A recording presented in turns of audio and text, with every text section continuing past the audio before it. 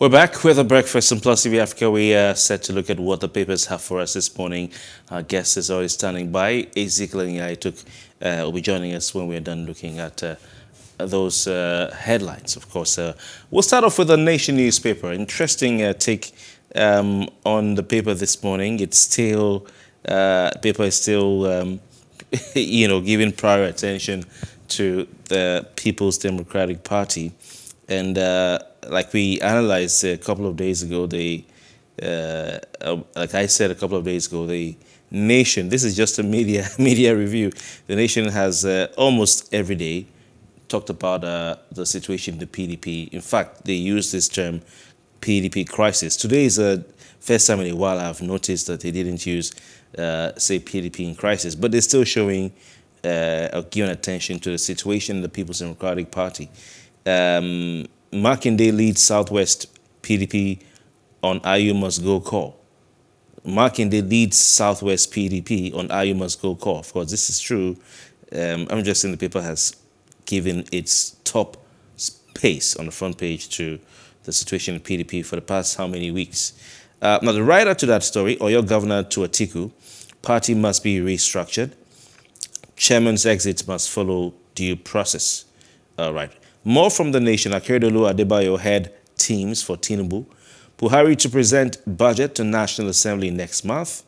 Oyetola Adeleke bicker over report of overvoting. Yeah. Uh, buyers of seized Lagos properties to pay 2001 price. Lucky them. I don't know if that's the right way to put it. Uh, banks to stop PTA, BTA payments in cash as scarcity persists. I think this was covered by some papers uh, yesterday. All right, uh, more from the nation.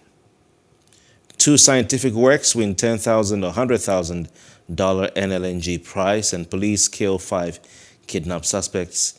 Uh, stories on front page of uh, the nation. Let's go over to the punch with these uh, headlines. A big story there. The kicker, PDP crisis. The headline says Atiku Wabara meet aggrieved governors. Makinde demands Ayu's exit.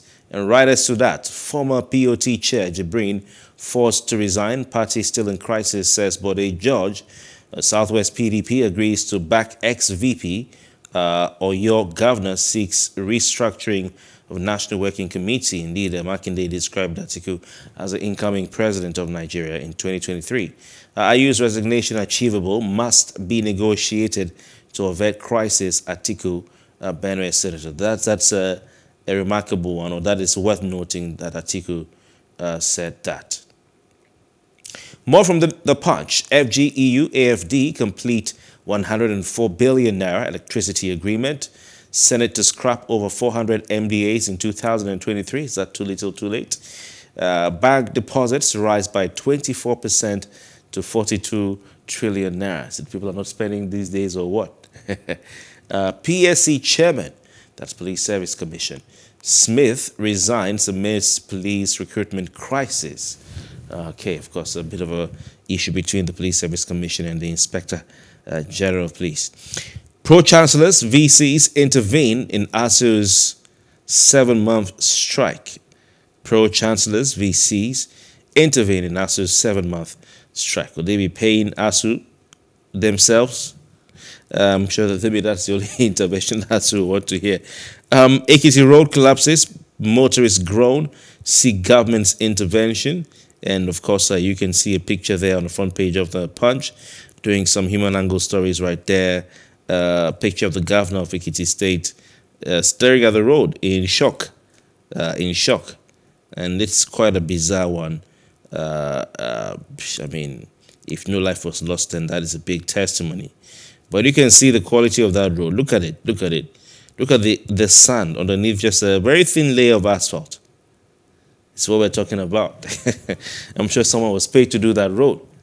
This is the quality of road that the government does for its citizens. Look at sand. You don't even have stones, no uh, gravels, no, um, what do you call it again? Uh, no base, nothing, no stone base. All you have is shaft sand, then a thin layer of asphalt in the city of Dunning Road. So when there's water running under it, erosion and everything, it will cave in. What a shame. And the governor looking at the road in shock. I mean, I don't know if this road was done in his time. I don't know. I can't judge him. But um, governments need to do better. If it wasn't done in his time, it was done in someone's time. Did the person who was governor then not inspect to see that uh, the road was properly done? Because you're paying for a quality road, you must have a quality road. Look at that. Look at that. What a shame. All right, do we have more? Uh, I hope it won't take them one year to fix. So, I mean, if you come to Lagos State, the Eko Bridge has been closed for some time now after a fire incident there at a place called Apongbon. And uh, uh, till now, I don't think that bridge is open. It's affecting traffic flow from the mainland to the island parts of Lagos, uh, affecting economic activities and um, reducing all, all-round productivity. I don't know why it's taking this long. I'm not an expert, but I do sincerely hope that that, will get, that bridge gets done quickly. In the same vein, I hope that this Ekiti road will not take uh, forever. Uh, I have to move on. I guess we'll provide us analysis of, of our stories. But more from the punch, tackling insecurity, can uh, Anglican primate tell federal government? Customs intercepts 80,000 litre tankers uh, carrying dirty diesel. Who imported the dirty diesel? Uh, or is it produced in the country? Maybe it's uh, one of these locally refined products. EndSARS panel awards 289 million naira compensation to 74 victims. I have a personal story I will share and now, me on some other day, and uh, that strikes strikes me. All right, more from the next paper. Let's go to the leadership this morning. The leadership um, has an interesting, interesting front page headline. That's the leadership newspaper. All right, what the leadership is saying on its front page, uh, the kicker to that big headline 1995 Durbar Hotel bombing. 1995 Durbar Hotel bombing. I can't talk until U.S. Embassy speaks, accused ex U.S. envoy. I can't talk until U.S. Embassy speaks, ex accused or accused ex U.S. envoy. All right. And the writer to that, uh, I can't recall the incident. Madi Shehu is talking about uh, Kaduna ex-military governor General Jafaru Isa. Police, DSS, U.S. Embassy keep mum. I'm sure I guess you'll remember this, uh, this, this episode quite well. FG orders buyers of seized Lagos properties to pay 2001 price. Uh, UK Police Judicial Office passed a buck on Ekweremadu's health. Hmm. Revenue shortfall, Senate backs measure of MDAs. Dogara Babachir continue to or continue agitation against APC Muslim Muslim ticket. Police Service Commission chairman resigns and five die in Bauchi boat mishap. Really sad. The stories on the front page of the leadership newspaper. All right, we have the last paper for uh, consideration this morning, being Daily Trust, a big one on the front page of uh, Daily Trust. Uh, call for state police, ACF, NEF, Afeni Afenifere, PANDEF, back Northern governance monarchs. So it's uh, interesting that uh, it's now a national thing um, right there. The riders to that, Ekiti passes bill, Kano in two weeks. Jigawa to follow soon. It's uh, nullity without National Assembly approval, Professor Yadudu. Well, you know what they say? uh, nature abhors vacuum. I guess we'll talk some more about this when we put him on. A Southwest PDP meets Atiku, demands Ayu's resignation. How Smith was forced to resign as PSC chairman. I don't know if this is unconnected with his tussle uh, with the IGP over recruitment. Uh, police kill kidnappers sharing ransom in forest. All right. Uh, what happened to the ransom? Buhari to present 19.76 trillion naira 2023 budget in October. This according to the Speaker of Nigeria's House of Reps, Gbajabiamila. Senators OK Oronsaye report over 400 MDAs risk scrapping. uh, my Nigeria French agency signed 25 million euro deal for power transmission projects. 23 Abuja Kaduna train passengers still in captivity 186 days after Lord have mercy. Lord have mercy. All right, let's um, say good morning to our guest analyst, um, Ezekiel Nya-Etok. Good morning to you, Mr. Nya-Etok. Thank you very much for your time. Good morning. Have to be nice to be here. Good morning. Fantastic. Great to have you. Great to have you. Great to have you.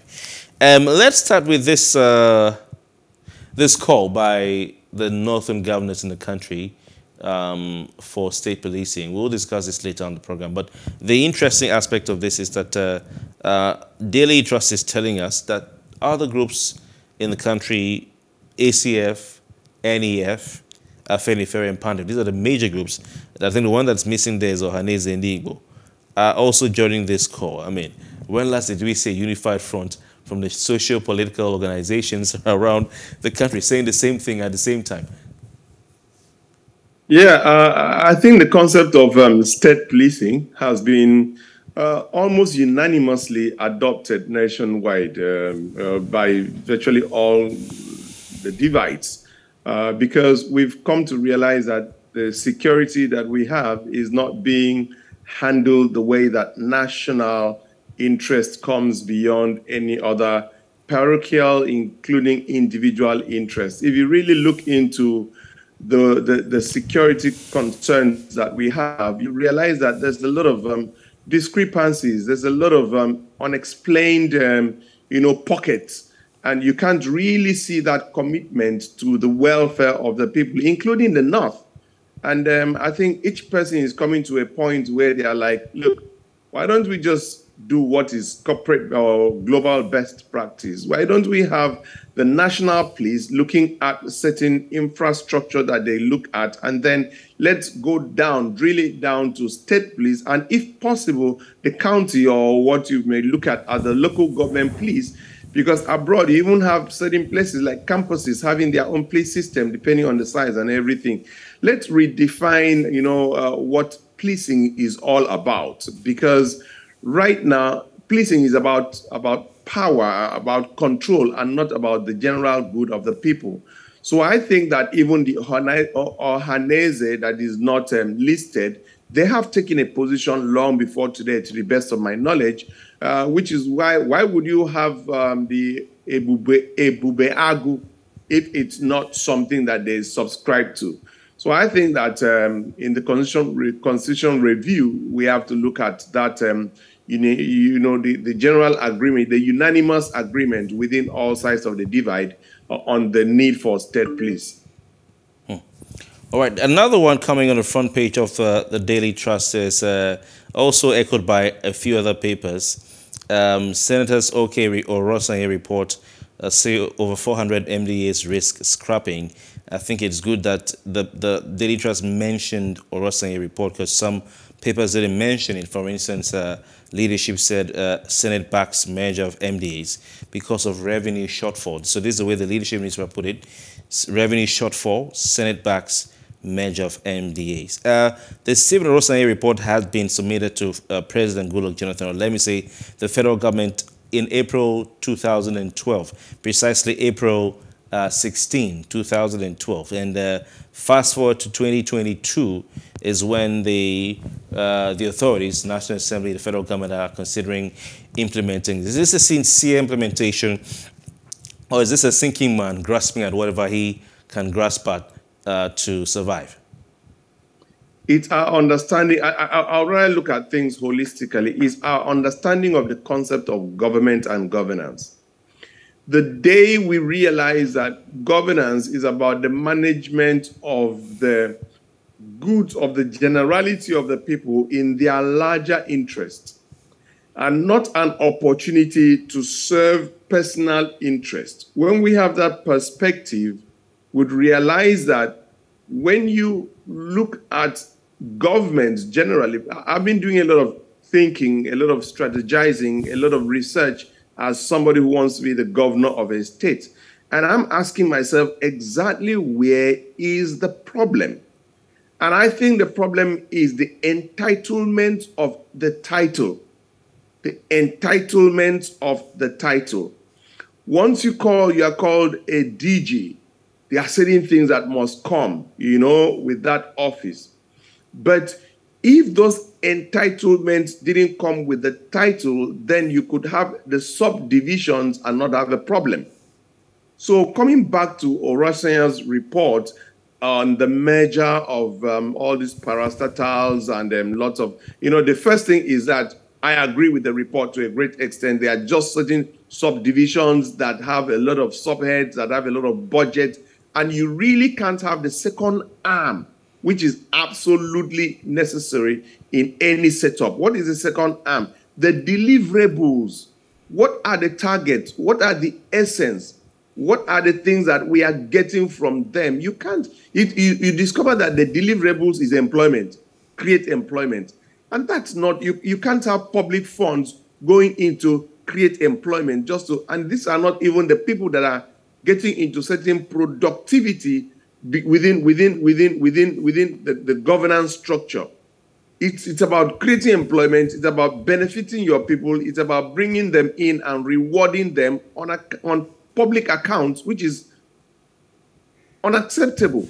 So I think that looking at that, I've taken time to look at a good section of that report, and I think that any focused government will adopt a good section of those reports because a lot of this, by the time you look at the list of the of the MDAs, you you feel scandalized because it's like, what? You mean this exists? Where? How? What? They exist. Yes, they do. They are collecting salary. Yes, they do. They are paying rent. Yes, they do. There's a whole lot of entitlements attached to each of the offices. And what is the outcome? Zero. So I think that uh, they should implement, whether it is as um, a way of, um, you know, you know, how do I damage? I, I won't even call it damage control. Whatever it's worth, let them look at it and implement as much as they can. But I can assure you that the next government is not going to be like the past government. It's going to be more focused. It's going to be more people oriented. It's going to be more purpose fit and going to understand the essence of government and governance. I can tell you that for free. It's not going to be one of these two big people that come and do same old, same old. There is a change that has begun and it is un unstoppable at this point. You know, uh, uh, it's interesting that the, what you've said, the um, this particular uh, uh, uh report was was was was, uh, was, submitted to President Jonathan in 2012, April 16, after being the committee headed by the former head of service of the Federation, Civil Oronsaye, was set up in 2011. Um, when the this administration came in in 2014, they said they were going to um, implement. This was in 2014 uh, they announced a decision to implement the, uh, this was last year rather, they said they were going to implement the white paper, all right, the white paper of that report. But interestingly, another committee was, was set up to make recommend, recommendations based on the white paper of that report. I don't know, you are, you are uh, an administrator, you're in the circles of power. What exactly is this white paper thing? But before, before you go to that, um, we're told that they want to reduce the agencies, uh, departments, and ministries created since 2014. The Buhari administration came into power on the back of, you know, reducing resources, and the, they, they started with a push of trying to cut, you know, government spending, government excesses. But if you look at the, the ministries, department, and agencies created since 2014, they've actually increased what you had before. Um, that report recommended that uh, of the 541 statutory and non-statutory federal government parastatals, 541 is to 541, and we're still where we are. Um, out of those 541, um, 263 uh, statutory agencies should be reduced to 161, and uh, 38 agencies should be abolished, 52 agencies merged, and 14 reverted back to departments in ministries. You know, so so that is that. Now, subsequently, the white paper was report, reported and issued in March 2014. And it's taken March 2014 till uh, 2021 for them to now set up another committee to make recommendations based on uh, the white paper. But another interesting uh, point I also like you to speak to is that President Buhari um, created five new federal ministries. In um, it was reported in 2020, 2019. You know, you look at the Ministry of Humanitarian Affairs um, and Disaster Management and Social Development, Ministry of Police Affairs, uh, special special duties and international affairs, aviation, and power. You know, and some of uh, we used to ask, why did we have aviation as a separate ministry when it's transportation?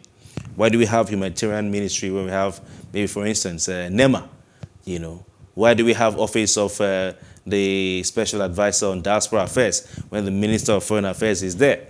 You know, and sometimes you don't know who is who. we would have to agree who will speak when. You know, so what are your thoughts on this? How many agencies and ministries? Uh, yeah. Uh, uh, uh, I'll tell you, the way government operates, if people understand it, is that government has to be dynamic and not static for the simple reason that government is created to solve problems. And sometimes problems come unanticipated, and government needs to set up a system, a structure, depending on the nature of the problem. But that system or structure serves that purpose. Certain things are statutory. For instance, education will always be there, and you know, um, the health care, housing, you know, all that social infrastructure, the road network, you know, security, the um, welfare. So there are certain things that are statutory, but from time to time, certain things come up. For instance, there was the Petroleum Equalization Agency that was set up because they realized that when you bring petrol, it comes to the center, which is like Lagos, and it has to be taken from Lagos to you know places like uh, maybe um, Katsina or Sokoto or Maiduguri, and that is different from taking trucking it to Ogun State or, your state or any of the neighboring states. So that differential in transportation has to be imputed in the cost. And, you know, government is to provide a certain level for, you know, the generality of the people, and fuel was something that was, or power was something that, that um, applies to all. So, on account of that, that agency becomes a necessary agency, you know, to come up and handle that specific problem. Now, by the time government now comes to a point of saying, for whatever it's worth, we are not we've uh, we've taken ourselves off that um, we've deregulated that that sector and left it to be private sector driven. Most of the time the agency created does not like get extinguished. They remain even when they do next to nothing and secondly a lot of these agencies some of them are created on account of the problem that exists within the ministry. And then you have somebody that comes in and is favorably disposed to a particular person. So he kind of carves that out so that he has his own command and control as distinct from the boss that was there before.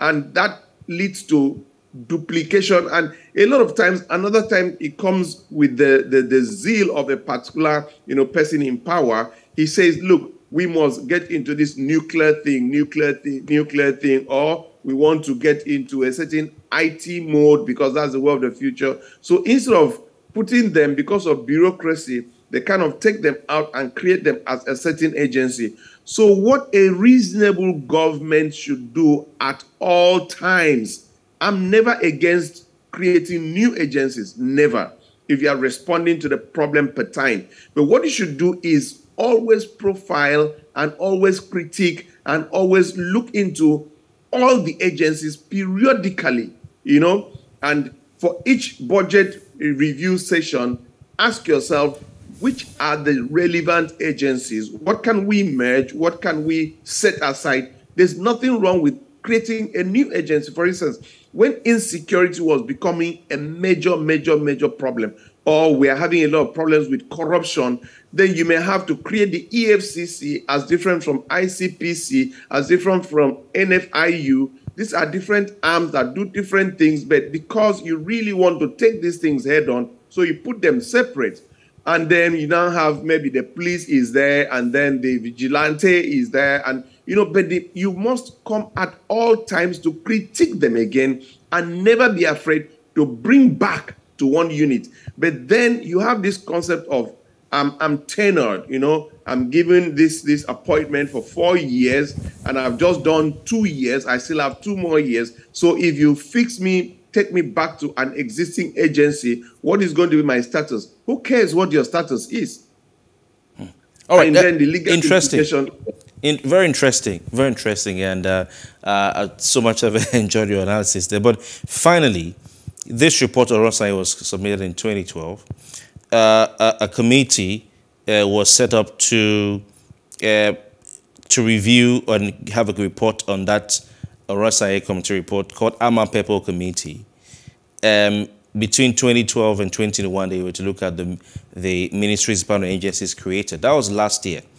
Ama Pepple Committee has submitted its own report on the Stephen Oronsaye report, and Obele Okeke Committee has now been created uh, and uh, has done a, a draft white paper on the Ama Pepple Committee that submitted a report on the Oronsaye Committee. So we're waiting for them to implement. So what, what, what, what is up with this? No, you are waiting for the committee that will review the work of the current committee that is set up. Yes, so three committees it, now. Yeah, yeah. No, we are waiting for the fourth one to take care of this. and then make, it, it, it's the concept of political will. Actually, it's just that I'd, I'd made a commitment that because President Buhari had signed the Electoral Act, that I have forgot, forgiven every wrong he did in the past, including the ones he would do till he leaves office. So, and I still keep to that commitment. But, but I, I feel a lot of times, I, I, I think that there's a disconnect between the Buhari that was seeking office and the Buhari that is in office. I'm not talking in terms of all those uh, conspiracy theories, whether he is this or that. No, I, I'm just thinking that age has played a game on this man and he is he's not so forceful. He's not so target driven he's not so we don't really see him as taking on to make a legacy with respect to governance. I don't see it because all these ones of setting committee to review committee is just time wasting as far as i'm concerned and lack of political will to get done what should be done. But if i were close to president buhari i'll tell him that no man stands a better chance of getting this thing done right now than himself because it's like eggshells. They're going to step on things, you know. But for several reasons. Number one, he's not seeking a third term. Number two, he is respected to a great extent. So there are three things he can do and get away with it. And number three, he wants to leave a certain legacy behind that he did this. I think Mr. Mr. President should actually sit down and think of what what could be what would be his exit strategy and what would be his legacies he has to really sit down. He has children. He might not be reading these letters or this um, listening to us you know do this review but he has friends. He, he has relations. He has relatives particularly relatives particularly children who at this point in time should sit down and think of the father and think of his re- retirement and say what would be his what would he be remembered for? Nigerians have very short memory and Nigerians are very forgiving. The president can take one, two, three decisions now, and everything he did wrong in the past will be forgiven and forgotten. Give us clean um, um, um, electoral process, no matter what it takes. Give us clean, free, fair, credible elections. You'll be hailed as a hero. Number two, look at this report. Take that decision that somebody coming in and uh, you know thinking of second term may not be able to want to rock the boat if you do these two bold things, I think that he'll be, he'll be remembered on the right side of history. Right. Interesting, very interesting indeed. Uh, let's go on to the Punch newspaper. Um, uh, Atiku Bakar has been uh, on uh, a, how do I call it again, a wooing tour. You know, when a woman is trying to, a man is trying to woo a woman. he's, been, he's been on a, a chiking tour of the PDP in the south, southwestern part of Nigeria. Um, but uh, he, met with the Oyo State um, or the Southwest AP's PDP stakeholders in Oyo State yesterday, not in Lagos State. And uh, would you say this is a catch-22 situation for uh, Seyi Makinde um, and even um, uh, Ayo Fayose and then the Osun State governor? Because, I mean, they can't say they won't turn up for, uh, for, for this meeting.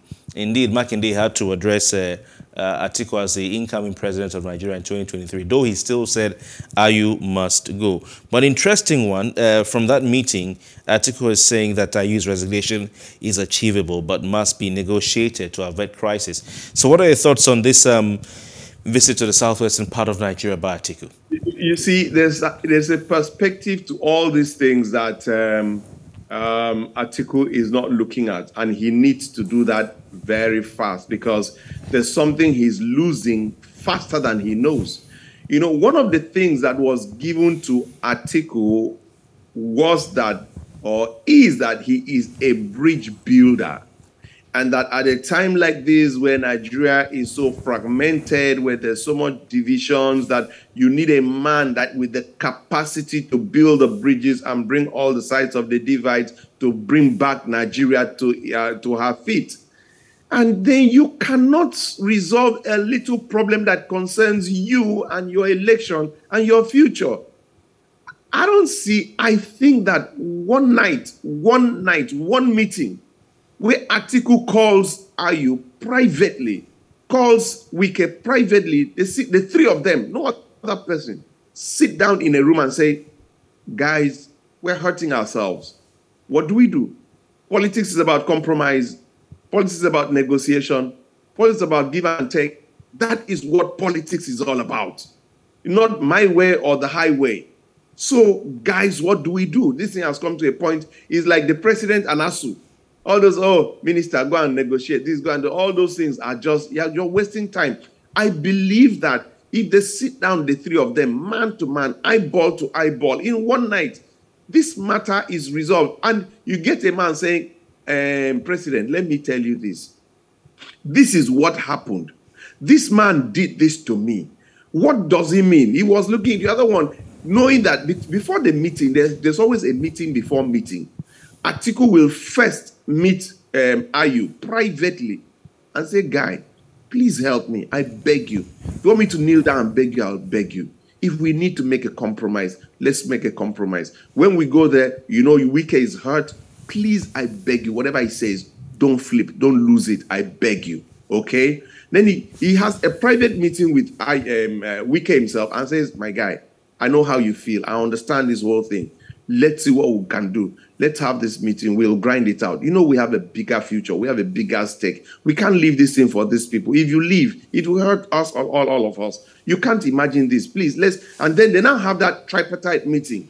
Do you understand me? The moment they come out of that meeting, I can tell you that the problem would have been solved because they don't need any further. Wike does not need to consult anybody. Do you understand me? As soon as he leaves there, before any because nobody knows about the meeting. He's going to give a call to um, uh, you know Makinde and um, Ortom and you know all this and then he will now then this guy will now say then Ayu will now say look this thing is getting out of hand my guy. I know how you feel. I know that this is this guy is just trying to bully and everything but let's look at our Atiku we are losing it.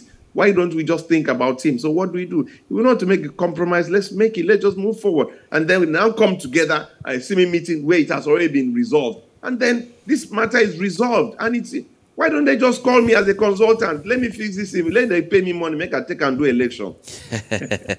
you know, you know, a song, you know, that I can really uh, uh, bring in here to describe what's happening is a song that has been playing on radio over the last year or two. If you leave me, Yawa go there. Maybe that's no, no. Uh, that's what Atiku uh, no. is singing right now. If you leave me, Yawa no. You see, when when you get when you get a ticket Atiku knows this more than me now. When you get a ticket, you can run your campaign. Do you understand me? What did Jonathan do? It's just that there was a kind of backstabbing somewhere along the line.